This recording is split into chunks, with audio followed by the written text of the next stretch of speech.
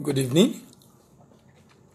You're welcome to another edition of Import Export Platform Facebook Live from 3 Team Pest Academy. My name is Dele Ayemibo. Um,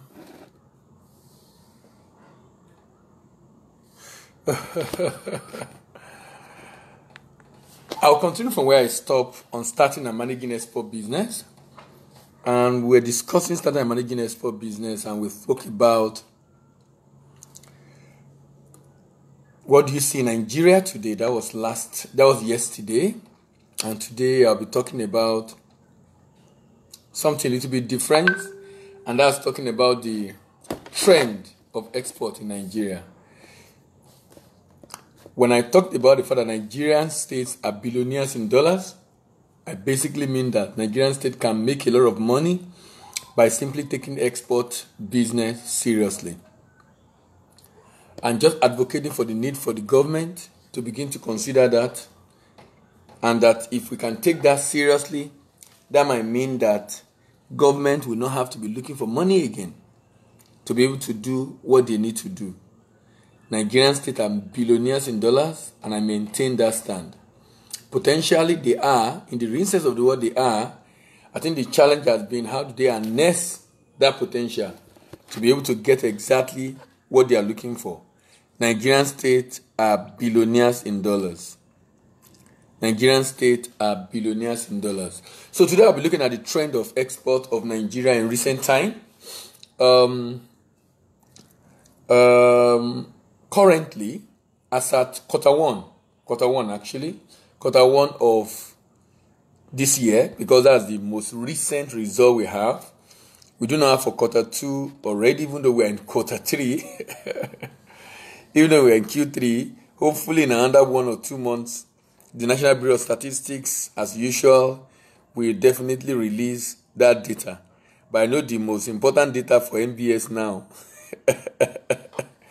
will definitely be the data for um, the data that will be more important now is the GDP data. So I know that um, most likely eventually we'll get that data and be able to know where we are. But so far, so good trend of export in Nigeria. Between 2016 and 2019, the export of Nigeria has been growing both to ECOWAS and other African countries. Um, it was as low as $153 million for ECOWAS country in 2016 quarter one, but at quarter one of 2019, it has moved from 153 million dollars to about 834 million dollars. We're getting closer to a billion dollars in terms of the export of Nigeria to ECOWAS. Now, if you check our export of Nigeria to ECOWAS, Nigeria is a major beneficiary of export. Hello, madam. Long time. if you check Nigerian export to ECOWAS, you will realize the fact that number one, it's not just growing, Nigeria is a major beneficiary of that of that sector. You know, Nigeria also is a major. I mean, Nigeria is uh, the whole of ECOWAS is about 350 million. Nigeria is about 200 million. So Nigeria is actually more than half of the whole of ECOWAS.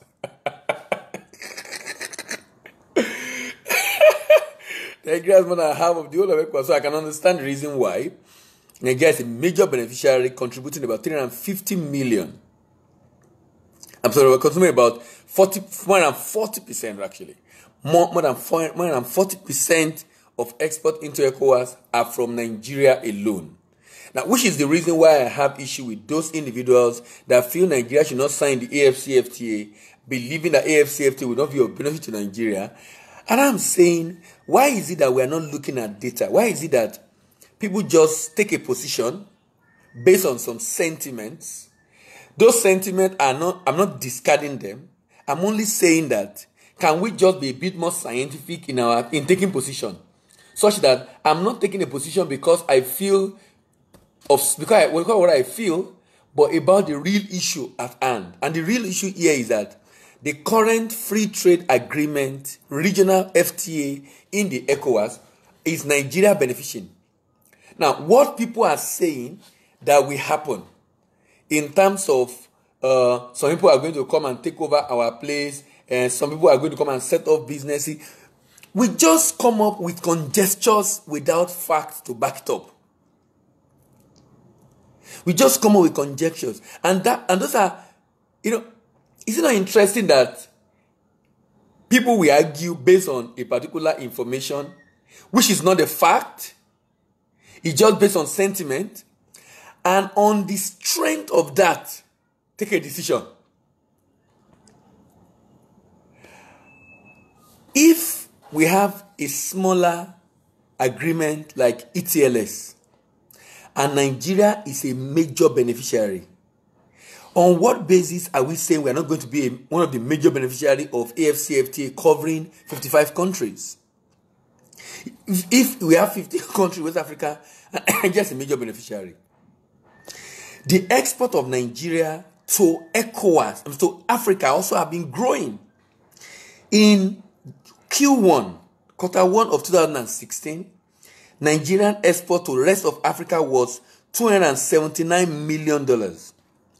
As at quarter one of 2019, export of Nigeria to to the Africa has grown from 279 in 2016 to 1.8 billion dollars in 2019.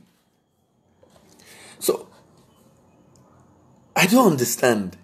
The individuals that believe Nigeria is not going to benefit from AFCFTA, on what basis are we raising this argument? Um, on what basis? This, I feel the fact is speaking for itself because there have been arguments and counter argument about the fact that Nigeria should not sign. Thank God, eventually, I believe it was just politics that government eventually signed. How on earth are we going to believe and just assume that, oh, it's not going to be good for us? And on what basis? The current data show that Nigeria is still among the top exporter in, in Africa. Between the first and third top exporter in Africa. The data is speaking for itself already. On what basis? The trend of export of West of Nigeria in West Africa and in the world shows that Nigeria export to this region is growing. So if the export is growing, why are we not going to sign AFCFTA? Meaning there are more markets for Nigerian products in the region. Of course, we are doing oil out of it to South Africa, and we're doing fertilizer to Egypt. We're doing a lot of this happening. There's no doubt about the fact that there are issues with export. There are issues with trade. But my question is every other country have the same challenge. That challenge is not peculiar to Nigeria alone. The only issue is like some people have just decided that this is what they want to see. And you know that's the beauty of human beings.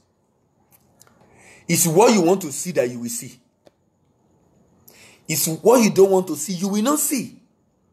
If you want to see that there is opportunity, you will see opportunity. If you don't want to see opportunity, you will not see opportunity. You are going to give a reason why it will not happen, it will not work. Even though the fact speaks for itself. So, how on earth are we going to have this kind of opportunity in Nigeria and say we are not going to exploit simply because some people feel, oh, they will come and flood our market? Flood our market? Should that be issue we should be talking about? We should be talking about the fact that how do we monitor and a private sector complaint should not leave it to the hand of the government. You should discuss with the government. We want, we are the one that will be affected when they flood the market. It's not the government people. We want to be part of the monitoring committee. Those are the conversations we should be having. That so that when I see new product flooding Nigerian market, I'm able to know that okay, these have substantial input of local content of Africa, 60% according to the agreement. Those are the things that should worry me. Those are the things I should be more concerned about. Nigerian state are viable. Nigerian state are billionaires in dollars. If only Nigerian state do what it needs to do in terms of empowering its people and taking advantage of the market around us. And do not, do not just look at the West or the Asians. We have to depend on ourselves. AFCFTA is an opportunity for us to trade with ourselves. Nigeria already doing 1.8 billion dollar in one quarter. In one quarter. 1.8 billion dollar export of Nigeria in one quarter. Like I said, a number of uh, items being shipped are petroleum um, com- uh, product, but the fact is that we're shipping within West Africa, and that's very critical. That's very important because at the end of the day,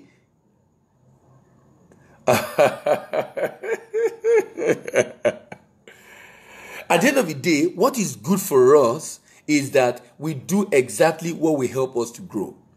Africa need to become independent of the West. Africa need to become independent of the Asian. Africa need to be able to. We have the market. We have over a billion people, so we need to sign. Now I've been signed, and I've been writing article on this. My second article will be out tomorrow, and second article examine FTAs around the world, and talking about the fact that FCA is not the.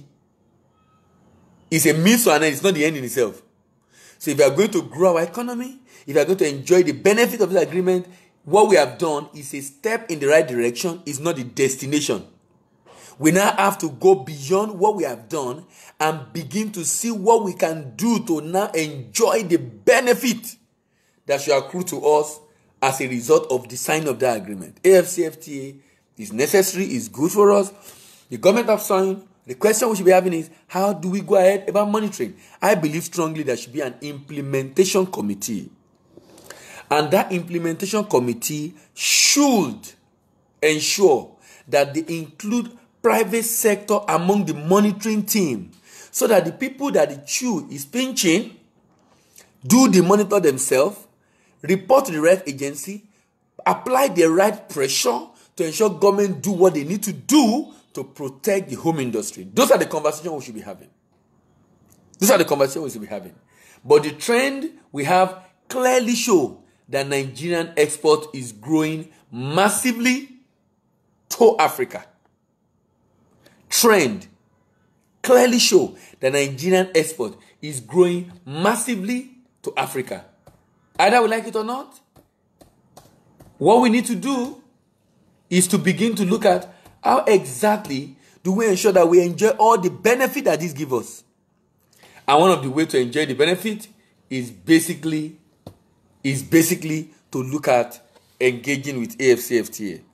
Now, in the first quarter again, what is the uh, what are the top export of Nigeria? Top export of Nigeria in the first quarter. Top export of Nigeria. As usual, mineral fuel is now 86.48%. We have issues as a nation, no doubt about it. But you know what? I also have good news of the fact that our export is a bit better. What do I mean? Nigeria being the major, I mean, Nigeria having its non-oil export, which ended at about 6.2% last year, this year going to about 13.4%.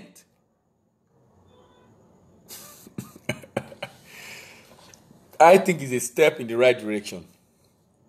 Because if there is one thing we must do, if there is one thing we must do, is that we are able to grow, significantly grow our export. Especially the non-oil export. Because it is today, we're not doing well as far as non-oil export is concerned. We are at 13%, that means we are still very, very vulnerable. We are vulnerable in the sense that our major foreign exchange earner is still oil. Mineral oil, mineral fuel, 86.48%. Nigeria in that period export ship and boat of $1.1 billion.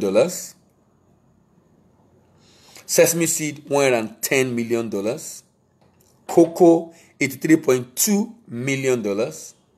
Fertilizer, $58.6 million electrical 26 28.5 million dollars tobacco 18.5 million dollars What's interesting to me on this data is that the top export of Nigeria in quarter one of 2019 is not mainly agro commodity, non oil export. The commodity, agro commodity, they are just sesame seed and cocoa, which amount to about 200 million dollars or about 200 million dollars. All the other ones from the 1.1 million dollars of both to 56.8 of fertilizer, 28.5 of electrical, 18.5 of tobacco, all show that we have a lot of value added manufactured goods. If you go and check most of these value added manufactured goods, most of them are going to Africa. So someone is now telling me, Nigeria. Nigeria should not sign FCFTA when we are having increasing number of manufactured goods going to Africa. Increasing number of manufactured goods going to Africa. How do you explain that? With over 13% of value of non-export product exported quarter one, out of the manufactured good is about 10% of total export and 77% of non-oil export. I think we're in the right direction. We have our issues. Security issues a big one in Nigeria right now, very big one that the government really need to do something about and address.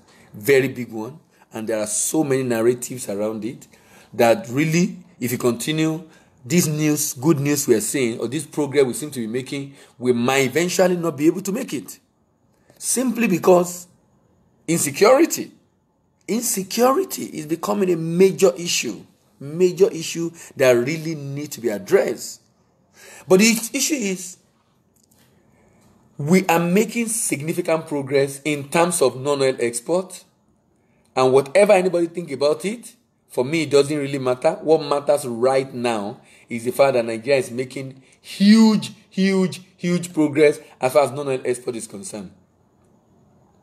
Huge, huge, huge progress as far as non oil export is concerned. And the implication of that for me is that we need to then harness this potential. If we have been doing this much, maybe by the time we now having signed AFCFT, we cannot ship duty free. The competitors in those countries who probably are shipping the same product for other location outside Africa might begin to look at odd, more within Africa, and Nigeria can begin to export more. Why? The data speak for itself. The data speak for itself. But when you look at the majorly traded agri products, they are sesame seed, cocoa, cashew nut, frozen shrimp, ginger, agro food, flour, special plants, cotton, and cassia tora. These are major export products within the first quarter. Sesame seed is leading Cocoa is number two. You know, cocoa and sesame seed are always competing. Cocoa and sesame seed are always competing. Maybe by the end of the year, when we have the main crop of cocoa, we can have more cocoa coming up. But cocoa and sesame seed are always, always, always competing. I'm not happy with the data for agri export because I don't want us to be agri exporting agri. We should not be the farmer of the world. We should not be the farmer of the world. The more you export agri, the more you export jobs, and the more you import poverty. Whenever you export agri product, you export jobs and you import poverty. Whenever you export agri product, you export jobs and import poverty. So, I am of the opinion that we need to stop exporting. Stop exporting Stop exporting. Agro commodity. And some people will say, okay, so if we stop, what are we going to be exporting? Add value. Let's add value to it. You say we are not ripe? I think we are. I think we are. I think we are. I think we are. If we only want to wait for everything to be right, we will never start. If you want to wait for everything to be ripe, you will never start. The only way to start, the only way to start is to take action immediately. We should not wait for the right time because the right time really will never come. The right time really will never come. The right time really will never come. We cannot keep waiting for that lifetime. We can start anyhow. We can start anyhow. And then fix all the rest along the way, which is my issue also with people that say we should not sign. And I said, look, sign and then fix your issues along the way. Those issues will not be fixed in a day. Those issues will not be fixed in a day. Those issues will take a while for them to be fixed. So, you know what?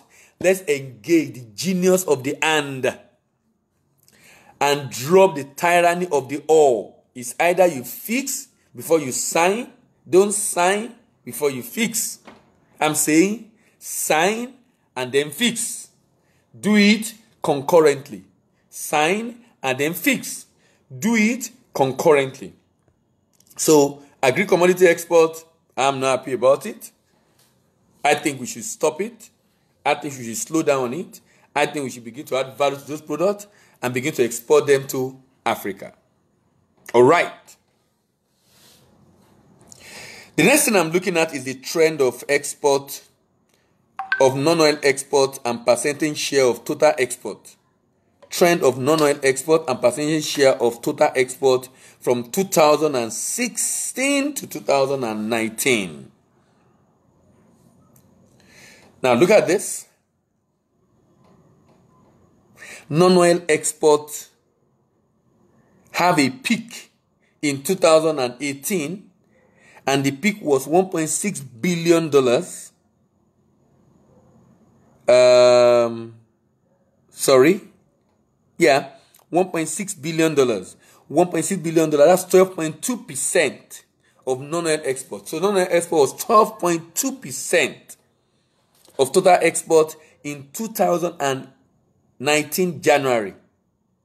It went down to 607 million, that's 4.9% in 2000 and, in uh, second quarter, 3.4% in third quarter, and 6.46% in fifth quarter.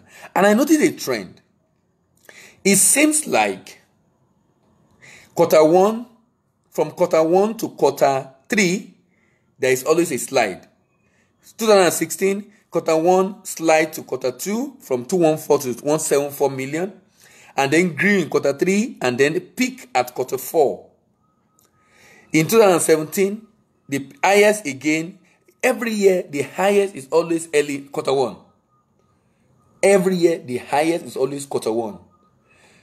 2017, quarter one 4.75, went down to 4, uh, sorry, 475 went down to 459 and quarter three 338 and then quarter four. So it's like it peak in quarter one go down quarter two go further than quarter three and start going up quarter four. And that is consistent. So but there is a, a major surge between the peak of quarter one 2017 and 2018 which is 12.2% from 5.7% and the peak but there is a slight increase in the peak of quarter 1 2018 and 2019 from 12.2% to 13.3%. So there seems to be something happening in that quarter 1. And what's interesting about quarter 1 is that major pusher, major booster, major factor accounting for this increase is mainly manufactured product. So What's this about increase in manufactured product that we export in the first quarter of the year and in the last quarter of the year? That's a subject of investigation. That's a, a, a, a research topic that needs to be investigated, and I will try to work on it. And I'm hoping I'll be able to get that reason out maybe sometimes in future. But I, I can see that trend consistently happening with manufactured good taking the lead. If it was, uh, and if it was, I would have said, okay, if it's agri, it's okay because of seasons But it's not agri that's taking the lead. It's manufactured good. And like I said, majority of the manufactured good go to West Africa. That is why AFCFTA is very necessary. It's very important, very necessary. Very important, very necessary. And it's so critical for us as a nation. Now, um, I still have a lot of data to work with. I think I will round off with the the data. Okay, I think I should just round off here. Let me just round off here, and then I'll continue from the data on um, the data tomorrow. I'm continuing on is the data on. Okay, let me just save the image that will help me to be able to. I'm trying to find a way to ensure that I remember where I stopped. I would like to add. Okay, ahead. So, as a round I'm saying again, Nigerian state are billionaires in dollars. These items being produced are produced in Nigerian state. This item being produced are produced in Nigerian state. This item being produced are produced within the Nigerian states. Cumulatively, we are getting this. Nigerians can take advantage of this, both on the minerals and agri commodity side, to be able to ensure that at the end of the day, Nigerian state become not just potential billionaires in dollars, Nigerian state are indeed and validly billionaires in dollars. How do I know? The data speak for itself. We'll continue the morning tomorrow as I continue part four, or part five rather, of Nigerian state are billionaires in dollars, and I'll be looking at Nigerian Nigeria export trend. Thank you very much for listening. My name is Dila Imba. This import export platform, Facebook Live from Trinity State Academy. Remember this program on weekdays, 8 a.m., 6 p.m. Um, uh, 8 a.m., 6 p.m. I'm hoping that I won't have issue because I have some engagement during the week. I hope that I won't have issues, but even if it comes late, I will still try as much as possible to be able to do it in the course of the week. Thank you very much for listening. See you tomorrow, 8 a.m., and bye for now.